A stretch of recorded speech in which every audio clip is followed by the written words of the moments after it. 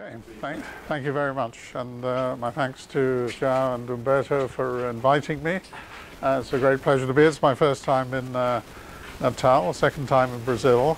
I'm mainly here this week attending uh, a meeting in the Physics Institute about uh, quantum contextuality and related topics. But uh, um, I'm going to talk here about things I've been interested in for many years in the theory of computation, um, which I think continue to be very challenging questions for the field of computer science.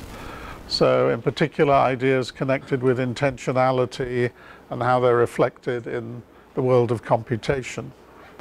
So um, what is intensionality? Well, we'll sort of see soon, but it's uh, roughly speaking, by the way, incidentally, let me say I, I guess the, the audience sort of may have varied background. I, I don't know, you know, some of you may be familiar with this or that or whatever. So I'm happy if you have questions, please ask them while I'm talking and I'm happy to answer anything. And if anything needs more explanation, uh, to uh, try and provide it.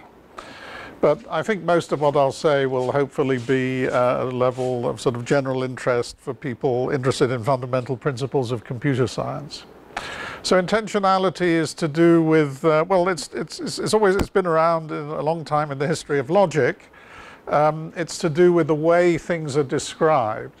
So from a computer science point of view, we have a program and there are the things that are purely about the behavior that the program produces that we can observe when we use the program, that, that's what we would think is the extensional information. But on the other hand, there's the things, so in other words, viewing the program as a black box. That's the extensional point of view. Um, but uh, everything else, the way the program is written, the number of lines of code, the, um, uh, you know, the names of the procedures and all these kind of little details, all of that potentially could be part of an intensional description program. So with that general, eh, and, and the same idea can be found in, uh, in logic. Um, in fact, for, from the perspective of logic, intensionality has always been seen as a difficult and exotic concept. But actually, if we come to it uh, from a computational perspective, I think uh, we more or less can't avoid it and it becomes very natural. And I want to particularly talk about one um, uh, area where there's been, I think, some success in giving a, a kind of intensional semantics for um, a part of an important part of computation, uh, functional computation as we find it in modern functional programming languages, um, and it led to uh, progress on uh, some well-known uh, open problems in the field of programming language semantics. So there was this sort of a classic of the area called the full abstraction problem for PCF. Um, and uh, some progress that was made there using ideas in, in, in game semantics by a, a number of people. I'll, I'll, try and talk a bit about that. Um, and in addition, uh, I just want to sort of mention that I think intensional recursion and related ideas potentially a very powerful method for computer science which have hardly been exploited to this point. So I think it's something that has a lot of potential for future work. So the message in some sense is that intensionality should be viewed not as a bug, but as a feature, which is after all the great slogan of uh, computer science, right? So um, what is, well, it's much easier to say what extensionality is. Actually, if you learn and if you take any course in set theory or in logic, you learn axioms for extensionality. It's a basic part of the subject. So extensionality as a sort of positive statement, you have axioms that express extensional behavior. So here is the most best known one, the axiom of extensionality for sets, which is one of the basic things that you learn if you learn a system of axiomatic set theory.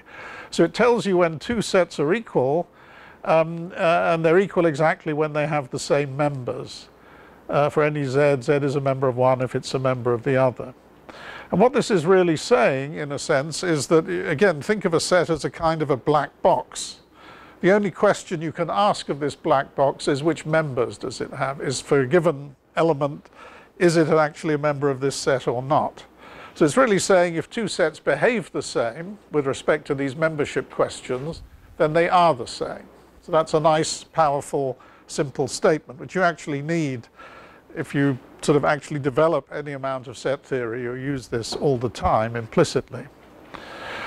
And there's also uh, a very well-known, uh, equally familiar axiom of extensionality for functions. Uh, when are two functions the same? When for all possible inputs, they give you the same possible outputs. Um, by the way, I mean, in the history of mathematics, a very ancient subject, uh, this axiom wasn't really clarified till a surprisingly late point. Um, so uh, the idea, because this is really saying a function is determined by its graph, by its set of input-output correspondences. And this wasn't really clarified in mathematics till quite late on in the 19th century. Um, before then, people tended to think of functions as given by rules. And actually, from a modern computer science perspective, we may still think of functions as naturally given by rules, because of course we care about how efficiently the function is computed. And this is saying we're going to ignore that, we're only going to look at this black box behavior again, and we say that two functions are equal if they have the same observable behavior in this sense. So that's what this axiom is saying. Now, the thing is, um, if we want to say what intensionality is, the tempting thing, which is not very promising, is to say that intensionality is whatever is not this. So is it just a failure to satisfy such properties? And I think a lot of the kind of bad press that uh, intensionality has received is because of a sort of the, the feeling that, that it was just this failure to satisfy these nice, elegant axioms, and it was just a mess, and one couldn't do anything with it. But by contrast, one might hope that there is some positive story to tell about intensionality and also, of course, some reasons for being interested in such a story. So let me um, go a little bit further with this and suggest that, that um, a sort of part, closely allied to this concept of uh, intensional versus extensional, um, we can have this idea about uh, properties of functions being extrinsic or, sorry, intrinsic or extrinsic. So extrinsic is the opposite of intrinsic. Um, and the curious thing is that the most fundamental notion in computer science is the notion of computability. And computability isn't defined the way that most, which is a property of functions and sets and so on, but it's not defined in the way that most natural mathematical properties of functions are defined. So what do I mean by an intrinsic property of functions? So a property of functions we can say is intrinsic if it can be defined purely in terms of f, the function itself, from this extensional point of view, a set of input-output pairs, together with any structure which, uh, which the, the um, types, the input type and the output type of the function may have. So um, some basic example, if you think of any kind of algebraic structure, the notion of a homomorphism is intrinsic in this sense. I mean, you can say when a, when a function is a homomorphism if it preserves the operation, the algebraic operations of the kind of structure it's dealing with. And similarly, if we're in the world of continuous functions, uh, then continuity will be, this, will be defined in the same way. Also things like being differentiable or um, uh, other such natural mathematical properties. So this is, from a point of view of um, the way one learns uh, mathematics, this is the natural and standard thing. And the point I want to make, a, a very simple one, but I think actually some sense a, a, deep one, a, pointing to a deep lack of understanding, is that computability is not an intrinsic property of functions on the natural numbers. I mean, usually, if you read a, a sort of if you if you read about computability of its uh, the first the basic discussion is about partial functions on the natural numbers, um, and the notion of computability is not intrinsic in this sense. It's of a very different nature. So, um, in order to define whether a function is computable, we need to refer to something external which is outside the function and the data and the, the, the input type and the output type. We have to refer to a process by means of which f is computed. So a function is computable if there's some algorithmic process that computes f. And of course, that's fine, but then we, we're going to ask what computable process. Now, um, uh, João has a nice T-shirt with Alan Turing on it, and uh, so in Turing's famous paper from 1936, I guess, he gave um, a remarkable analysis of what it is to be a computable process, um, which was um, and which actually, had, for example, had a profound uh, influence on Kurt Gödel, who was kind of sort of said something like, before this analysis by Turing, I didn't think that one could give precise characterizations of informal concepts. Um, and his, he was sort of really convinced by this at the time, although maybe later on there were, there were some more disagreements. There's also a very deep analysis by, uh, by Turing's um, uh, friend and uh, um, uh, colleague Robin Gandy um, at a later time. But the thing is that the story is um, uh, by no means um, in as good a form as one might hope. There is no single canonical form of external structure witnessing computability. What we have is what's often called a confluence of notions. That is, we have Turing machines, we have random access machines, we have Kolmogorov type graph processing machines, we have string rewriting systems, and many other models of computation. And they sort of, fortunately enough, as was realized fairly early stage, they all lead you to the same class of functions. But we don't have a sort of general principles from which we can see why it was that when people tried to describe these notions, they ended up with the same thing. But anyway, this leads to the Church-Turing thesis that this notion, given originally in Church's case by the lambda calculus and, and, and then uh, Turing machines, uh, is, is, gives the canonical notion of what computable functions are.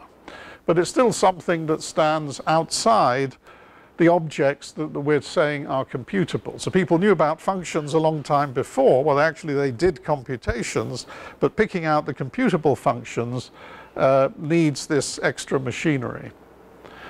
Well, um, and just to put this more concretely, so if you really think of a function that you're computing, you're given some input string, which is a binary string, and maybe it's just a decision process, so you're going to give out 0 or 1, accepting or not accepting a binary string. So what I'm saying, the point I'm making, the elementary point I'm making, is that we can't say if f is computable just by looking at its uh, input-output graph and properties relating to the structure of its domain, its input set and its output set. Uh, we need something more um, which uh, we have to sort of bring in. Um, and you might say, well, you know, okay, that, that's, but that's surely the only reasonable thing. How could we do better anyway? So I just want to give an example, also well known in computer science, in a much simpler case where we do have a better kind of answer. We do have a better kind of answer here. Uh, and this is for the case of regular languages, the kind of languages that are described by regular expressions or accepted by finite automata. So things that are really used a lot in computer science. And here's, here's the famous characterization of regular languages, the, the Myhill-Nerode theorem as it's usually called, which, which can be said to be an intrinsic uh, characterization of when a language is regular. In other words, you only need to look at the language and the structure of the actual strings that you're dealing with. So here I'm just, for simplicity, considering binary strings again, but it could be over any alpha, finite alphabet, of course.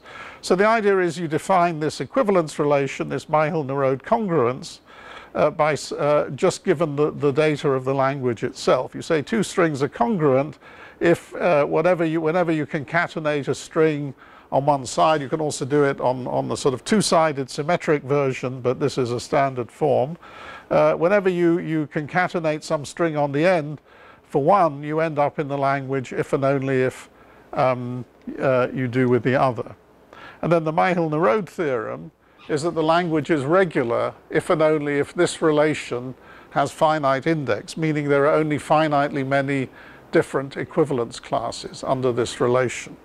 And actually from this data, from this relation, you can build the canonical minima, minima, um, minimal automaton that realizes the language. So it's a beautiful construction, and, and it is intrinsic in the sense that we're looking for. So the, what we can ask is, well, you know, why can't we do as well as we do for, for regular languages for the computable functions? Of course, it's a much harder problem, but is there some meta-mathematical reason why we can't hope to do as well for computable functions. And actually, I've never seen this really discussed in the, uh, in the literature, and it would be nice to have a better understanding of this rather elementary point. So that's what I want to say about that, but it, it tells us that we, we, in particular, that we don't have um, an, an intrinsic definition of computability. So now I want to do something that may seem a bit strange, um, which is rather than sort of trying to solve the problem for functions, to move to something that looks more complicated, namely functionals, in other words, higher order functions. The reason why, I mean, uh, you know, it's amazing you can't solve the problem in the simple case, so then move to a more complicated case. Why, why is that an idea? Well, the thing is that uh, if we include functionals in our discussion, we get more structure. And once we get more structure, we can actually begin to have some principles that go a long way, not all the way, but a long way towards pinning down what are, what are the reasonable computable processes. And this actually led historically to a beautiful development in the theory of computation, particularly associated with Dana Scott. So what do I mean by these higher order functions? So we have, we have the basic type of computation, say, is the natural numbers. The type 1 functions are just the usual kinds of things, mappings from natural numbers to natural numbers. But now I can have type 2, which takes as input these uh, functions and gives me back a natural number and so on. And actually these higher order functions, well, firstly, if you uh, use a functional, uh, so as a matter of interest here, I mean, uh, so how many people have used a functional programming language? So quite a number. So I, I yeah, so it's tempting to ask what are the most popular ones, but let's not get into, into that. Uh, um, but anyway, if you used a functional language, then you will have used higher order functions. And actually, even the things one encounters in a basic course in logic, like the quantifiers, are, can really be seen as um, um, second order functions. So if you think of a predicate on, say, on the natural numbers as, as, as something that takes a natural number as input, returns a Boolean as output, um, then um, uh, quantifying over a predicate is, is going to take you from a function like this just to uh, a Boolean. Uh, I, so for example, the universal one takes the predicate and returns true if the predicate is true for all inputs and false otherwise. So what it amounts to is computing with a function parameter. And um, when we compute with a function parameter, then actually the black box idea that we, we've been mentioning becomes very natural. And this is really the extensional paradigm. We're coming back now to our main topic about contrasting extensionality and intensionality. So the black box paradigm, when you have a procedure parameter, is really treated as a black box. And the only way we can interact with it is to call it on some arguments and use the results.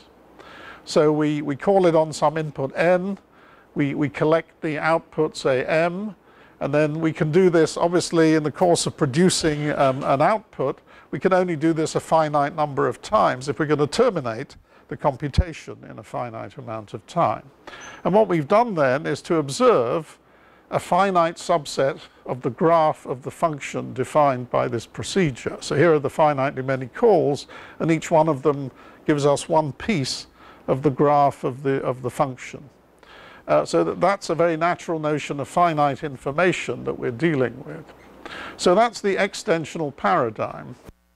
Uh, and actually, mostly in programming, we try to restrict ourselves to the extensional paradigm.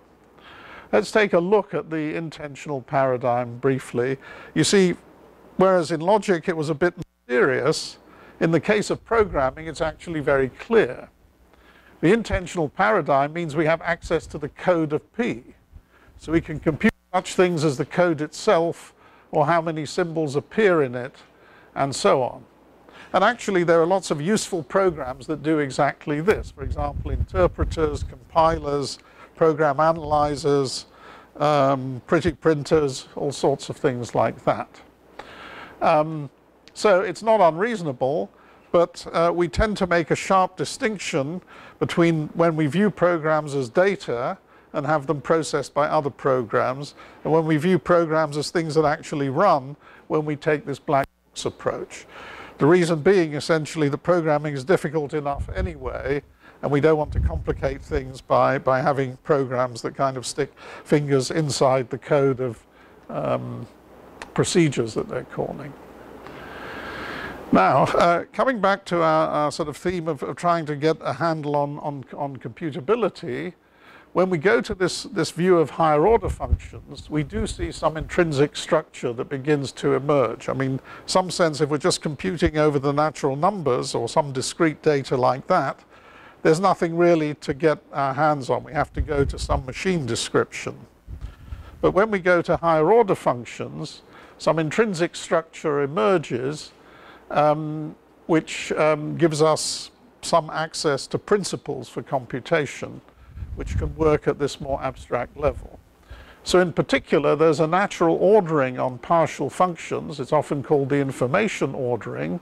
So we say that f approximates g, or the information about f is contained in the information in G, just if the graph of f is a subset of the graph of G. Remember, these are partial functions, so you, so you may have functions that are not defined on all inputs.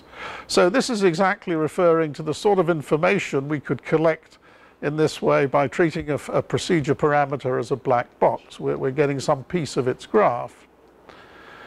And here we have a beautiful result from the history of computability, which shows that one, once we go to the level of functionals, we really get some nice mathematical properties which, which, which follow from computability and actually, with a little bit extra, exactly characterize computability. This is the Myhill-Shepherdson theorem.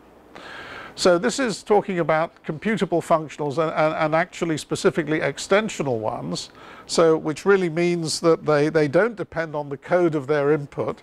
They, uh, as long as the input is defining the same function, they give you the same output.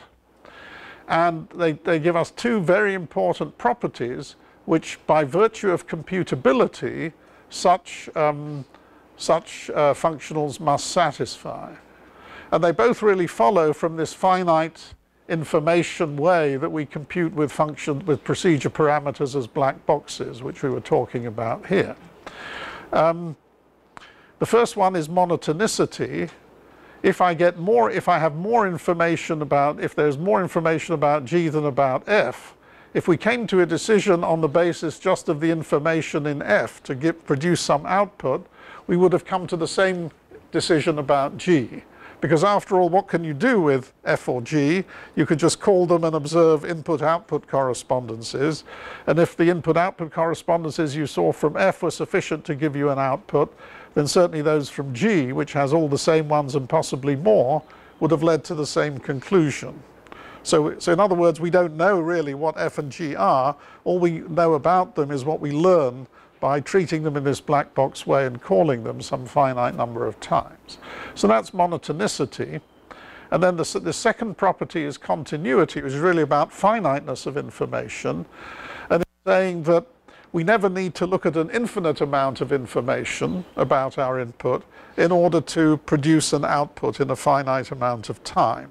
And this is really, it's almost like a physical principle for computability.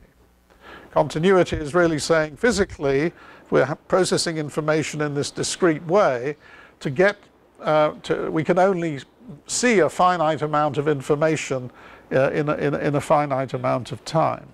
So therefore what we get in the limit is nothing more than we could have got by collecting uh, all the information we get at finite stages. So these are two beautiful and important properties which could be derived for um, uh, computable function, extensional computable functionals. And Myhill-Shepherdson even proved a converse.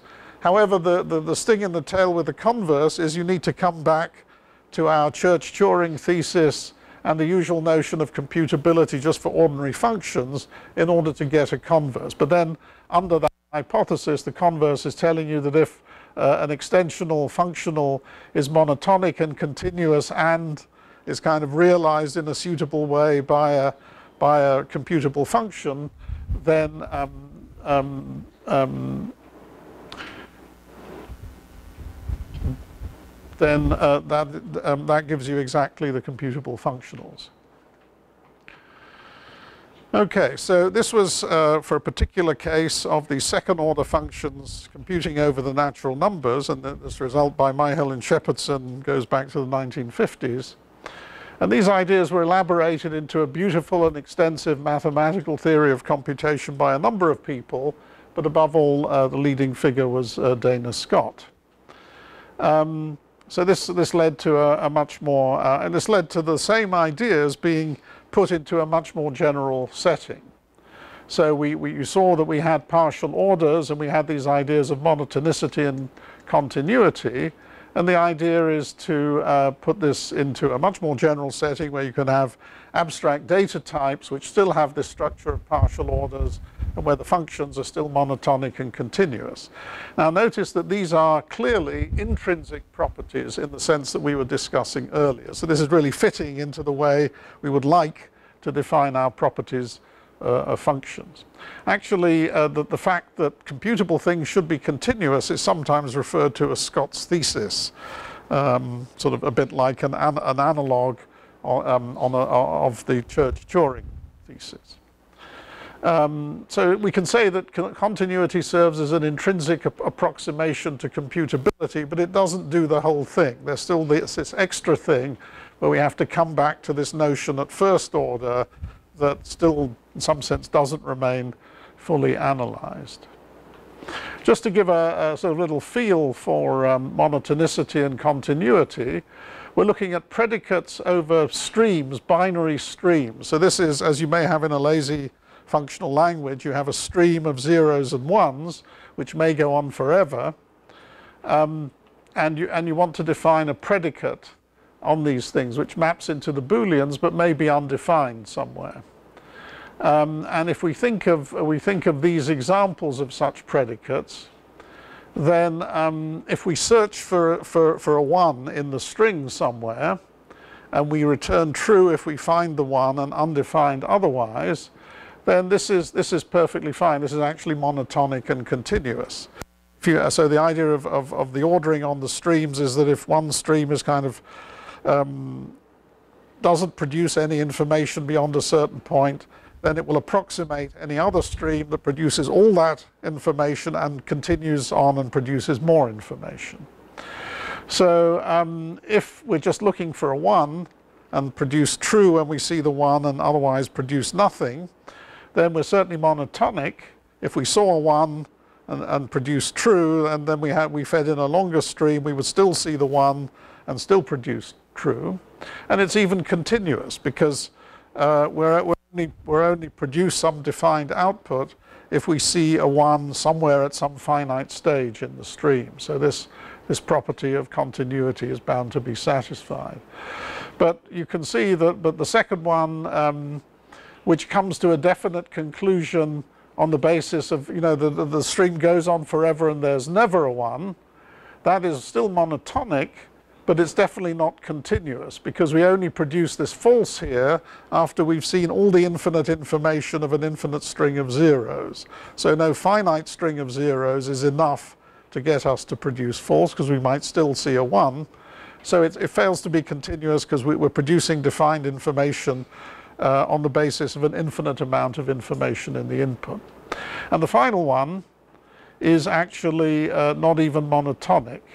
And, you, and, and actually, if you think about this one, which um, is able to detect find answer even if no information is forthcoming from the input, really is representing a, a kind of uh, world in which we could solve the halting problem. Uh, so we can return, we, we know in some sense we, even if the, if the input runs forever producing no information, uh, we're supposed to produce a definite defined answer. And the conceptual basis for these properties is that this information we're talking about here is positive. It's something we actually see and that's produced whereas negative information is not regarded as stable in observable information. So if we're at some information state S, for example, we've generated some part of a binary stream, then for all we know, S may still produce more, may still increase, and that means that if we, if we decide to produce information f of s at s, then we must produce all this information and possibly more at t. Um, so we can only make decisions at a given information state which are stable under every possible information increase from that state. And if you've encountered Kripke semantics, particularly for intuitionistic logic, this is really the same idea that we find there. And the continuity condition is really this finiteness point that a computational process will only have access to a finite amount of information at each finite stage of the of the computation. So, um, so I think we've, uh, we've said that already. If we're provided with an infinite input, any information we produce as output at a finite stage can only depend on some finite information we've made of the input. And this gives us the extra property that gives us continuity in the sense that we defined it. So these are very powerful principles and they are intrinsic properties of these functions. And another beautiful thing that comes out of uh, this analysis is a very general way of understanding recursion, which is one of the really, of course, the powerful primitives that leads to the power of computable functions. Because we can analyze uh, recursion through the fixed point theorem. Once we have these continuous functions, then uh, we always have these least fixed points which give us the canonical semantics for uh, recursion. And this has been a very powerful tool in giving the semantics of programming language.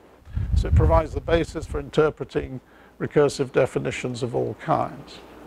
So this is really a beautiful story, developed originally, well, Yershov was involved at an early stage, but really decisively by Dana Scott, originally with his models of the lambda calculus, starting from the late 60s and early 70s, leading to the development of denotational semantics and many other developments, and uh, they're still active uh, work to, uh, to this day. So it seems great. But, you know, as we know, um, um, there's always some, um, uh, some thorn in the rose uh, and uh, some trouble in paradise. So although this story seems compelling, there is a problem. And the problem is that there's a mismatch between what the semantic theory allows and what we can actually compute in natural programming languages. And if you've programmed in any of the standard functional languages, be it, I don't know, Haskell, um, OCaml, F Sharp, um, whatever, I don't know, Lisp, um, Scheme, uh, this will be uh, quite tangible. So here is a famous example. I mean, it's maybe a bit artificial, but it's simple and it makes the point the so-called parallel OR. So this is taking a function that takes a pair of booleans and it's supposed to compute the OR of booleans in the usual truth table sense but we have to now deal with the situation that in general we're dealing with partial functions and our inputs may be undefined and our outputs might be undefined depending on how much information we have in our inputs and of course we're operating under the constraints of these beautiful principles of uh, monotonicity and continuity. Uh, so uh, what can we do with, uh, with taking our usual truth table function for the OR and turning it into a monotonic and continuous function? Um, and it turns out that uh, there's a sort of maximal, most defined um, answer to this question, which lives in this mathematical universe as defined by, by Scott and, in, and standing in this tradition of denotational semantics. And this is the so-called parallel OR. So if you think about it, um, OR should be true as soon as one of its arguments is true. So it doesn't matter what the other argument is, and even if we have no information about the other argument, we shouldn't, as it were, need to wait for the argument. We should say, okay, I'm ready to output true. And that's what the parallel OR does. And it's only when we, we have to, we only have to output false when we know that both arguments are false. So that's what the parallel OR does. This also is an, this operation goes back to Kleene, the founder of, uh, main founder of, of, recursion theory or computability theory with his uh, three-valued logic for computable functions. So this is the parallel OR. It's, it's a perfectly good monotonic and continuous function. It lives in this mathematical universe, but there's only one um, little problem here. So for anyone who's used a functional language, how would you implement this in your favorite functional language? Could you implement this in your favorite functional language? Does anyone see a problem? Or does anyone think they could do it?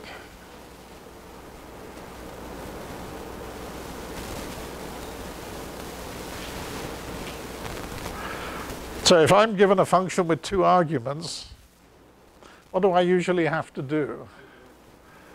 I have to choose one to evaluate first. Sorry? Evaluation order, yes. So we, we have a definite evaluation order, and it's clear that no, exactly. So so we have an we we I mean any actual language will will have an evaluation order. We'll have to choose one of these arguments to evaluate first, and you can see that there's no choice that we can make which is guaranteed to produce this result. If I chose to evaluate the first argument first, it would fail in this case. And if I chose to evaluate the second argument first, it would fail in this case. So um, a sequential functional language will not be able to um, compute this function. And, and, and in practice, I mean, people might think about implementing functional languages on a parallel architecture, but they nevertheless don't implement this.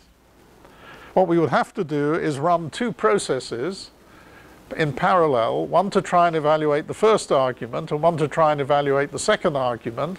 And as soon as one of them succeeded to, and returned true, we would kill the other process and return true. That would work, but no actual implementation of a real functional language does this. It's not, in some sense, relevant sense, it's not the natural thing to do. So uh, um, Yes, okay. Uh, so the point is that this function lives perfectly well in the semantic model. It lives in, it lives in paradise, but it's not definable in realistic languages, or those arising from logical calculi or the lambda calculus. Uh, and this mismatch, I mean, with some elaboration, is what's known as the failure of full abstraction, which was seen as one of the major issues in programming language semantics going back to the uh, 1970s. So, I mean, just to make the contrast, here are some variants which are perfectly well definable in your favorite functional language. I mean, we just define them with conditionals. Here's the so-called left strict OR, which chooses to evaluate the first argument first. So we choose that evaluation order, and that's fine. And we can similarly have a right strict OR, and they will have these properties where they, which will be less well defined in general, strictly less well defined than the parallel OR. Um, and by the way, I mean, if we're going to sort of have to run these processes in parallel, you see this brings us back to the world of intensionality we need to have access not just to the purely extensional information about the arguments, in other words, their values, but about their intensional descriptions, namely the programs that are going to evaluate them, because we have to kind of interleave or run in parallel those, those uh, pieces of code. So the problem is the, the finite number of processors at the end. Sorry? The, the problem is the finite, num the finite number of processors. Um, well, I, well, I would say it's even even sort of even if we had a sort of um, ideal um, uh, parallel architecture, we would just not be evaluating things in the same way if we um, uh, were because we would have. I mean, yeah, I mean, I, I agree that I agree that the problem is more acute if we really, for example, have one processor and we have to simulate parallel execution by what's known actually traditionally in in recursion theory as dovetailing. In other words, we interleave the scheduling of the execution of the, of, of the evaluation of the two expressions. Because then you're really getting into what the interpreter is doing. Uh, now you could argue if you have parallelism, we, we don't quite have to do that. But still, you have to sort of be dispatching things, and you still need to be able to, you know, if you get the true from one of them, to kill the other one. So it's still going to level of description that goes beyond the black box level. Um, so, um, and in a way, the, the, the, very fact that all the languages that people actually develop and use don't do this is a compelling argument that it isn't the natural thing to do. So it raises, the, so, and, and so therefore people have indeed wanted to answer the question, how can we capture the notion of sequential functional process? So notice that we have now this idea of sequentiality, this idea that we will choose a particular order to evaluate the arguments in. But now you see we're no longer talking about functions or only functions, we're talking about processes because it's only processes that you can speak of as being sequential or parallel. It doesn't make sense to say that a function in the extensional sense is sequential or parallel. So we need additional information to characterize those functions which are sequential. And here is a, a, a, kind of killer theorem for the hope of making this notion intrinsic in the sense that we discussed earlier. So it's a um, strong result proved by Ralph Loader um, in um, the late 90s. Um, that that even if we take the issue of infinite computation out of things, even if we just compute over the Booleans, and we don't even need then recursion, the set of functionals which we can define just in, in the sort of the, the type lambda calculus over the Booleans with conditionals and uh, a term denoting the undefined um, value is not recursive we can't decide, it, um, which is quite a remarkable thing if you think about it. There can only be finitely many of these things at each type. Um, but of course, as you go through all the types, um, um you, uh, there will um, uh, be more and more of them. But the fact is that we can never, we, can, we have no re recursive way of deciding which things are definable. Now, if if, the, if it was, um, the point is, if there were a reasonable intrinsic definition of the sequential functionals, then because of this finiteness, in this case just with the Booleans, we could actually, um, it would imply that this set was recursive because we'd be, whatever, however we wrote our conditions, say with logical sentences, with quantifiers and so on, uh, even sets and subsets and, and power sets and so on, everything would still be finite, so everything could still be checked in a finite way. Um, and therefore, this structure would be recursive. The fact that it's not recursive really kills the hope of having a reasonable intrinsic definition of the sequential functionals. So the best we can do is to characterize which are the sequential functional processes, which is really an intensional notion. And this is what um, game semantics came along. Actually, in some sense, uh, actually, um, so the um, before uh, Loader's result, but making it particularly plausible that such a thing should be true. Uh, so something I was involved in with colleagues Radha Jagadeesan, Pasquale Malacaria, also um, by Martin Hyland and Luke Ong, and then by many people. Uh, so it's been extensively developed as a way of answering these kind of questions and as a way of developing an intensional theory of computation based on positive properties and yielding positive results. So let me just say a bit about, um, uh, so I, uh, do I have another what, 15 minutes maybe, or is that okay? Great, thanks. That will be fine. I don't need to cover everything in these slides. So I want to give some, just some uh, basic impression of game semantics and some description of um, what it does. Um, so the basic idea is we go to step back from the standard extensional idea that you think of the types, the data types in the programming languages as being interpreted as sets, and then the, the, the sort of programs as just defining functions over those sets. And instead we're going to think of types of languages as interpreted as two-player games. And the idea is that the, um, if you consider any term or any expression then it's evaluated in an environment. Maybe it's called by some other part of the program. So, uh, and, and the two players correspond to the two, the two sides of this, of this situation. So the part of the program that we're currently considering, the side of that part of the program is taken by the, the proponent, or player one if you like, um, and the opponent is the rest of the world, the environment or the context within which this program is being evaluated. So in a natural way we get a reading of evaluation uh, of a program as a kind of interaction between two players. And programs are strategies, so the types will determine the rules of the game, and programs are strategies for these games. So part of this is that game semantics is then inherently a semantics of open systems, because the meaning of a program is given by its potential interactions with its environment. And then um, uh, the key operation is plugging two strategies together so that each becomes part of the environment of the other. Uh, and this really exploits this.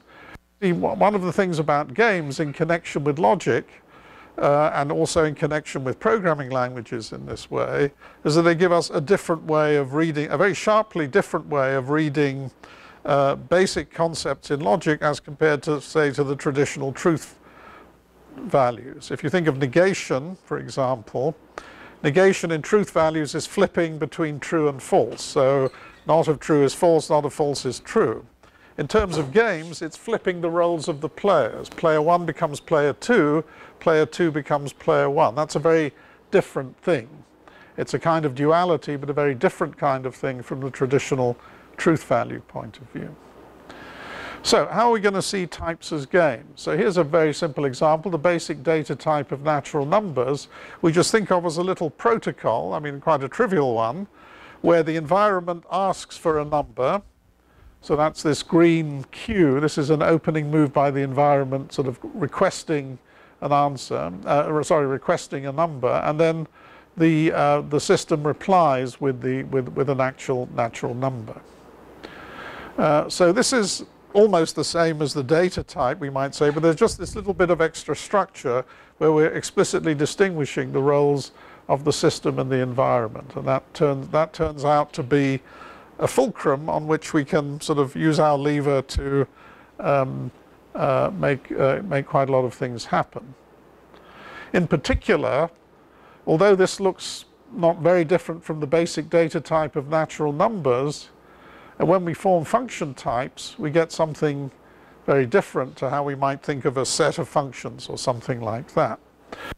What we do is we form a, we've already got games corresponding to A and B, the input type and the output type, and we form a new game from disjoint copies of these games, where on the input side we reverse the roles of the two players. So like I was just saying about negation.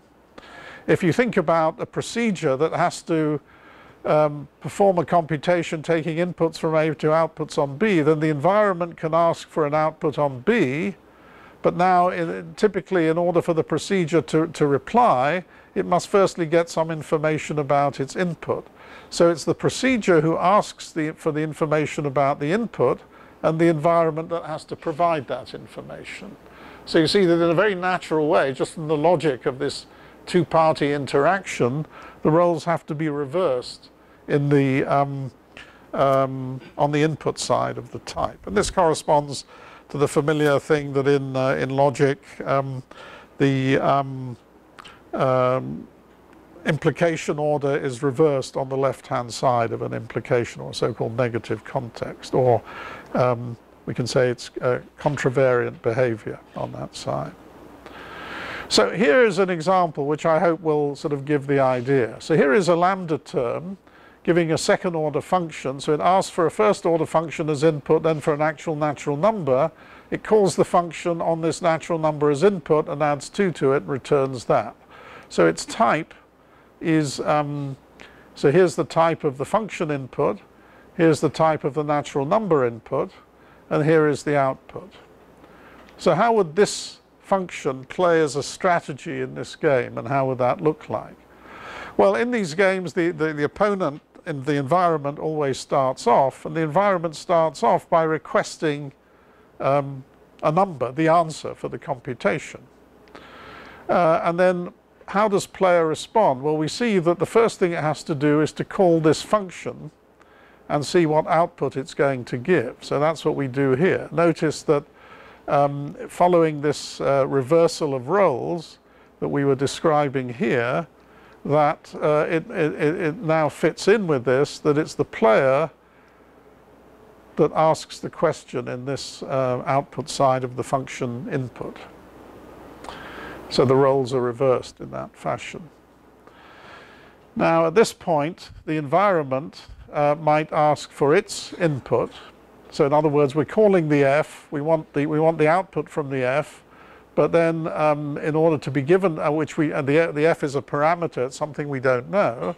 So, the, so what, what the context we're in may be willing to give us an output, but only if we um, tell it something about the input, because it's up to us what to apply as the input to this black box, as we were saying earlier.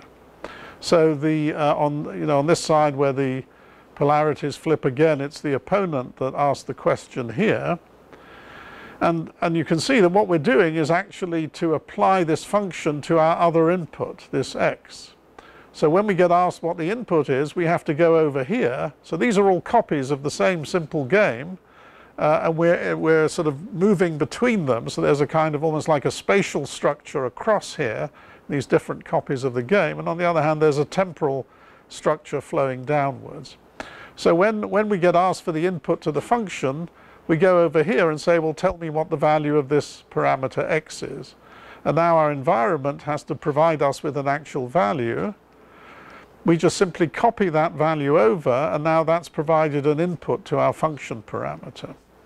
And now our environment, now it's seen its request for input satisfied, has to produce an output for the function call. So that's the value of f of x here.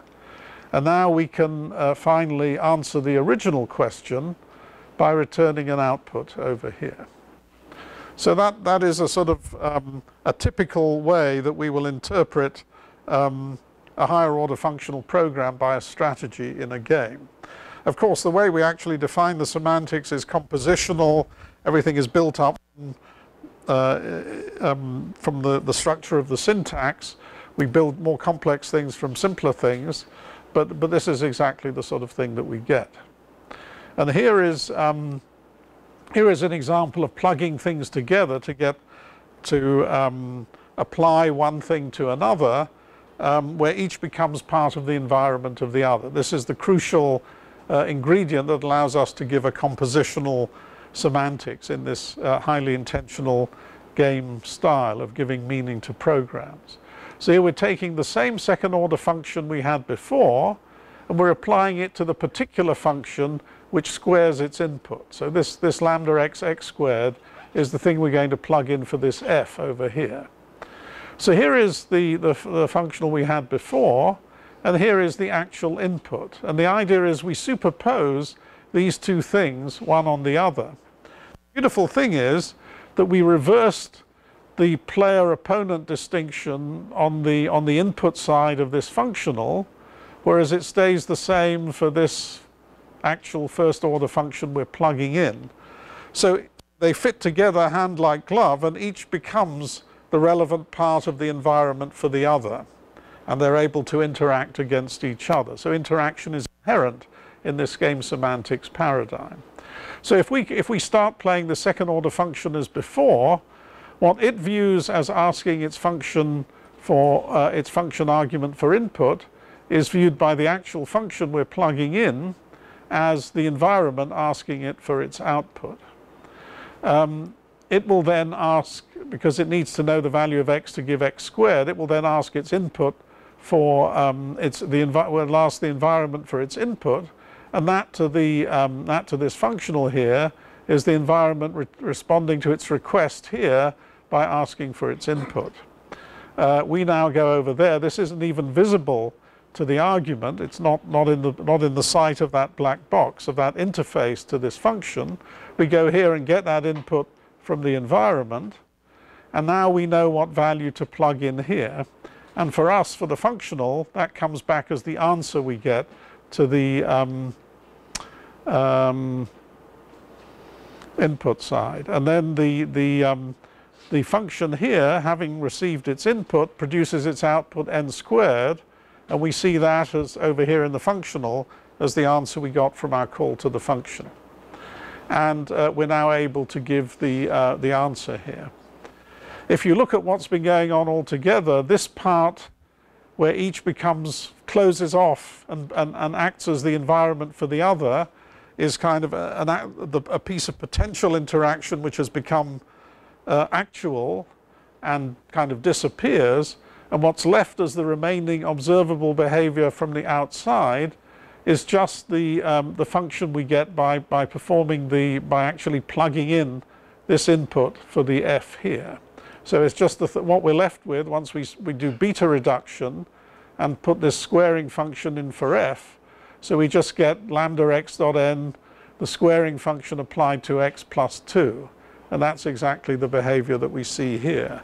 In other words, this game theoretic interaction perfectly captures the syntactic operation of beta reduction. Um, so we get this residual strategy after we hide the part where they interact which is just this thing here, which is exactly what you would expect as the simplified function we get by, by actually uh, reducing and evaluating. So uh, just to uh, summarize, so what we get out of this is that games and strategies organize themselves into a very nice mathematical structure, and we can then give a compositional semantics for a, for a functional programming language. And the beautiful positive result we get is that there's a perfect correspondence between uh, the strategies that exist in the semantic universe and the things you can define in the natural functional language. So the problem we saw earlier of these kind of things like parallel OR completely disappears. There's now a perfect harmony between what exists naturally in the functional language and what exists in the semantic universe. Um, and um, there are some interesting issues about the, the kind of strategies that we have in the semantic universe for this to happen. This was implicitly something that was true in the kind of uh, strategies we were looking at here, um, and we have to make it explicit and build that into our definition of the, of the um, universe of, of games and strategies that we're considering. I mean, just briefly, the constraints are typically that the strategies don't have perfect information about the previous history of the computation because in a purely functional program, when you call a function with some arguments, the arguments don't know anything about each other. This is what's often called referential transparency. The T1 doesn't know whether T2 has already been called or not.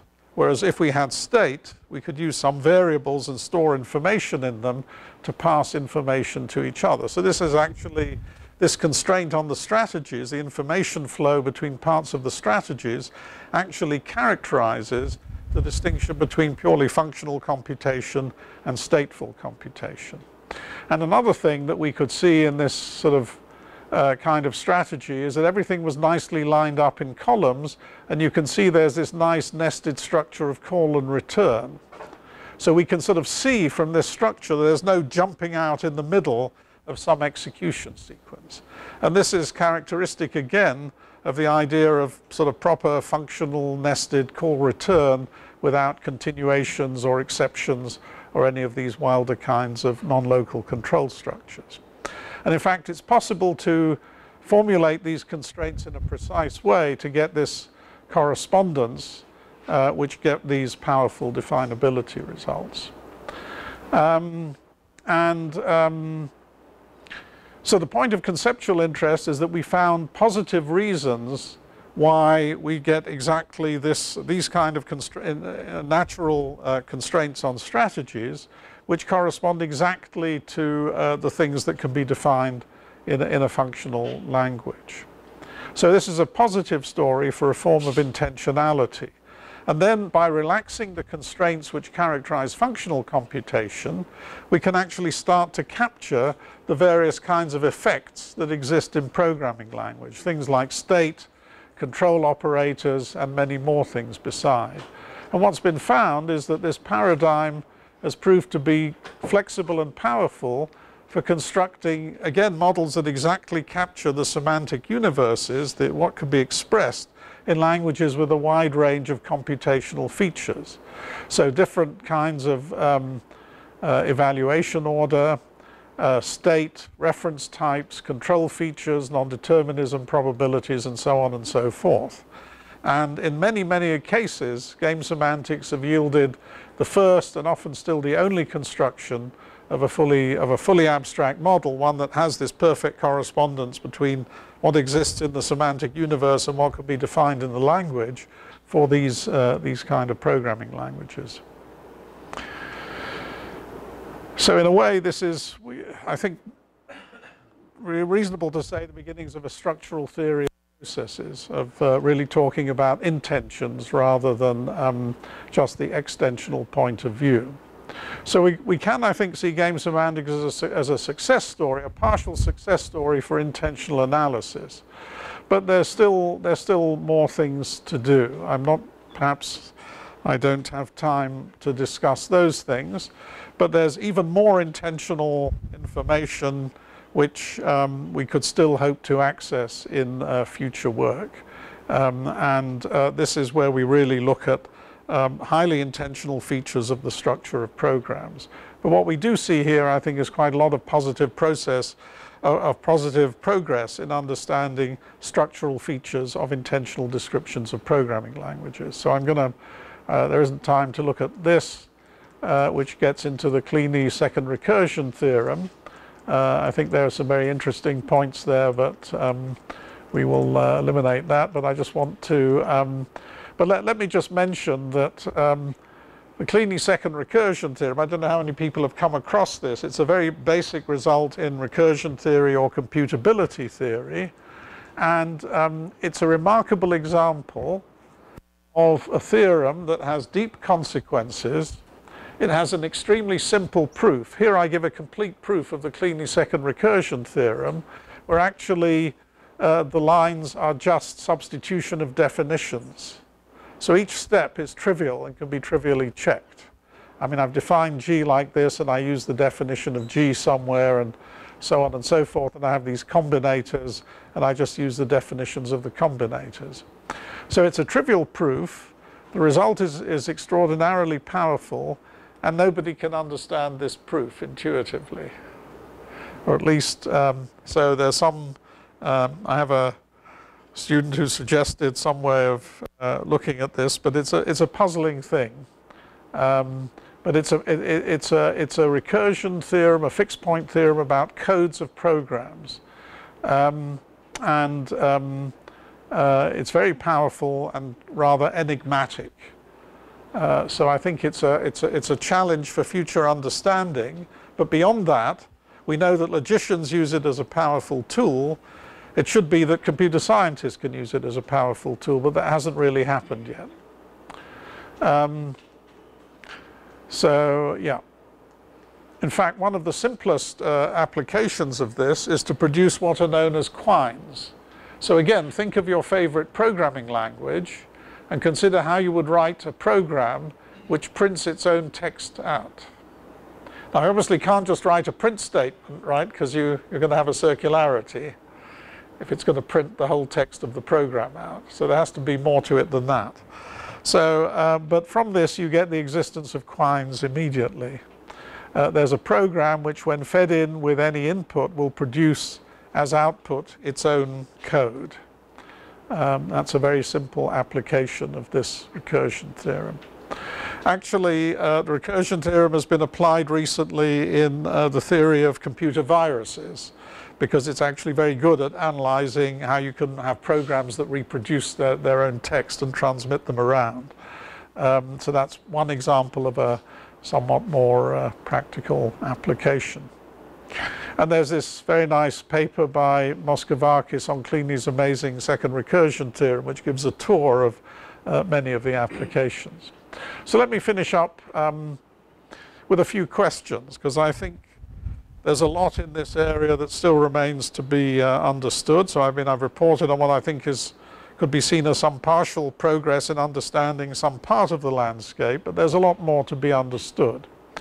Could we use intensional recursion to give more realistic models of reflexive phenomena in the sciences, in, in biology, but also in cognition, economics, etc. So in, um, in um, uh, biology, um, uh, because of the sort of various properties of uh, self-replication and self-repair properties of DNA, um, it's been argued that there are sort of recursive-like behaviors going on even at a very basic level in DNA, but it's not very plausible that they're dealing with higher order functions. It's much more likely that it's to do with codes, because we know after all DNA is about codes and transmission of codes and so on. Um, but even more plausibly, if we think about um, uh, social sciences, economics, and so on, we have the complication, which is not really taken account of in, in, current economics, which may be why economic models are not entirely adequate, to say the least, that, that an economy is composed of agents who themselves have models of the system that they are themselves participating in. And there's a whole lot of feedback and recursion there. And it seems again much more likely that this is happening at the level of codes rather than more abstract objects. Um, so really, the, the, uh, I think there's a challenge to develop a positive theory of intensional structures. Um, and who knows, this may even uh, be the right way of addressing um, fundamental issues in giving intrinsic characterizations of computability and of complexity classes, and that may even be um, the missing ingredient to help us separate classes. Well, that's, a, that's a, no worse an idea than anyone else has at the moment. So on that note, slightly optimistic, and certainly I think uh, pointing out some interesting challenges for the future, I'll stop there. Thanks.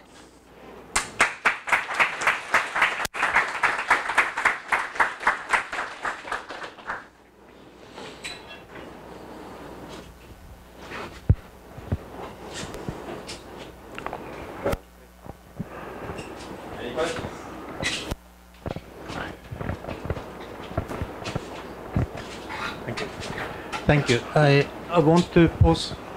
Is this functioning or? Yes, it is. Okay. Record the voice. Doesn't make any noise. Okay, good. Okay, so I will make a question based on maybe a comment from, from the standpoint of more like a set theoretic standpoint in a sense, because I'm for many years been working on a type-free type of set, alternative set theory, which is based on the idea of, of appro approximating naive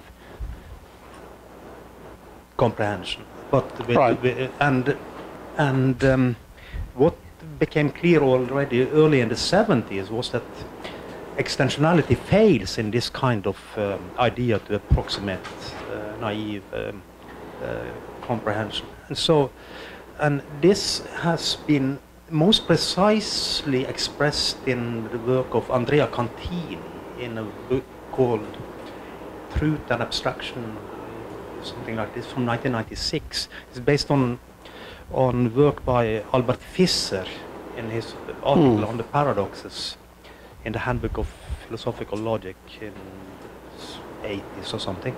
And it also goes back to the clearly clearly influenced by the second Kleene recursion theorem and, and ultimately on the Gödel Gödel work of Gödel in, in the in the in the 30s, right?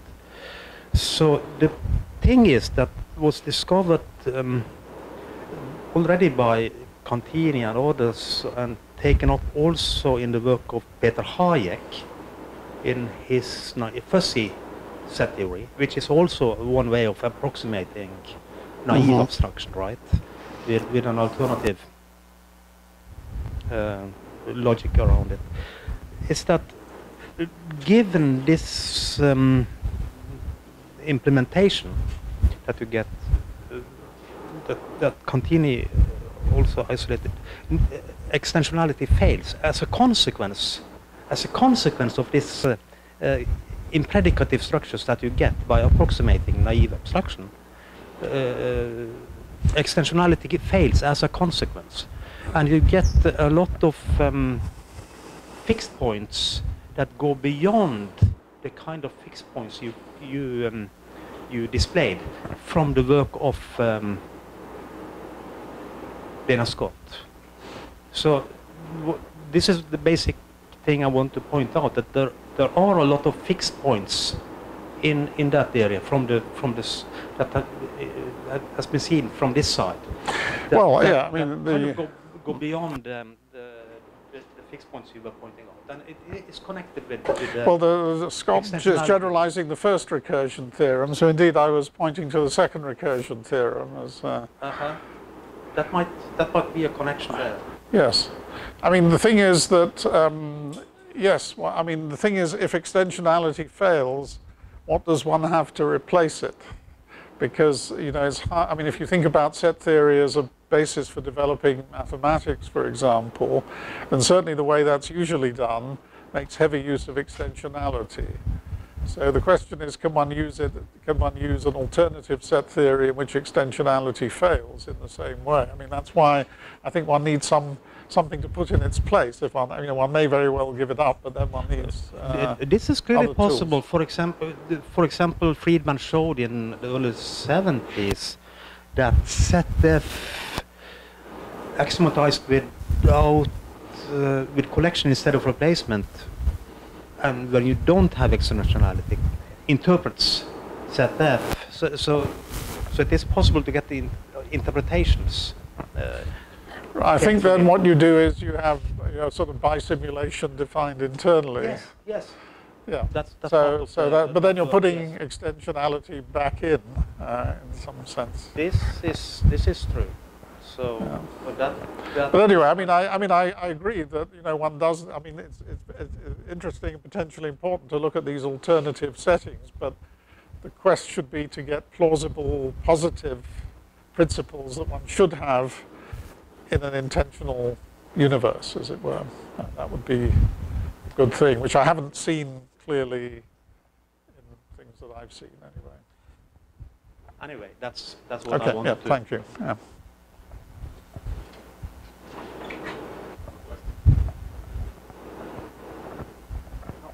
I do. Uh, well, thanks for the wonderful talk, full of insights and ideas and um, possible applications and open questions. Um, I wish you have had more time to go through the last part and that I could appreciate, for instance, what's so enigmatic about the proof of plainness. Yes.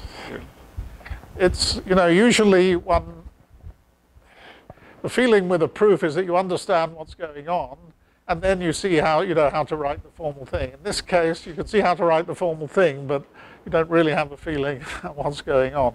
So I have, as I say, I have a, student who um, has, has made an interesting attempt to do something, but I'm not sure how far they've got. I think this is related to what you call intensional recursion. That this is uh yes, the, this is exactly expressing this intensional recursion, which turns out to be an amazing. I mean, although the proof is trivial, the the consequences are manifold, as in this paper by Moschovakis. I mean, I I can just. Uh, go back to the, I mean, this, this really is the, I mean, uh, I think it's written in a, in a particularly neat form in this way, right? It's just done in terms of, uh, you know, partial combinatory algebra with very simple combinators.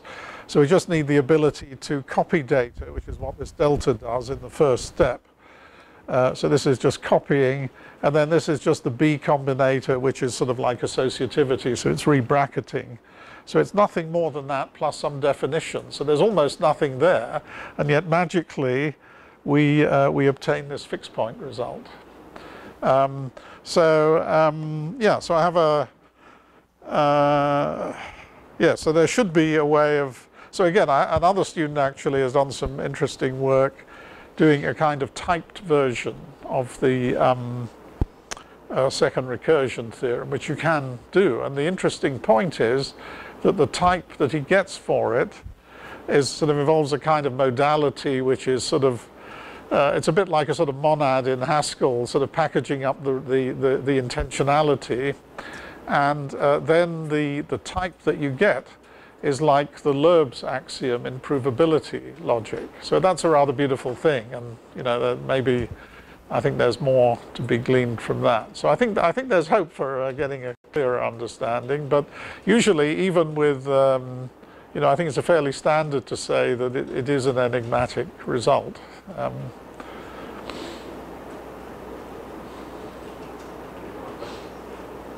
no more questions, I ask another one, uh, if I may. Um, do you think game semantics, which you advertised uh, yes, of course, I, uh, could be used, for instance, to to simpler things like things you seem to be doing when we're doing type inference? Could it well, actually, there's been, I mean, the big, the big development of, uh, in the last um, 10 years or so, really, by, by a number of people, including um, Luke Ong, Nikos Tsevelekos, and others, um, Dan Ghica, um, has been um, in applying game semantics in program analysis and verification. And this turns out to be, um, Andrzej Murawski actually is another person I should mention. Um, so this turns out to be very nice and fruitful because this, because I mean usually with, uh, for example, with model checking and various other kinds of program analysis, it's a kind of whole program analysis. It's been the traditional thing. And here you can actually, um, in good cases, you can take these simple descriptions of these kind of traces of behaviors and uh, they have a natural representation, say, as automata. Um, and um, so you can do a kind of compositional uh, representation of the semantics as little, well, maybe, well uh, as, as um, the kind of things you can compute with effectively um, and which are compositional.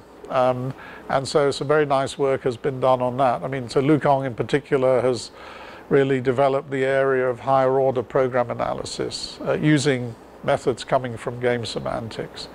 Um, and um, Dan Ghica has done a number of, sort of uh, things of, um, of that nature, also, and the other people I mentioned.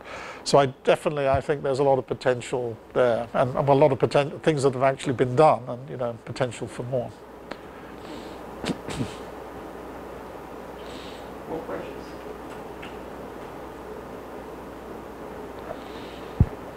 If not, let's thank the speaker again. Okay, thank you.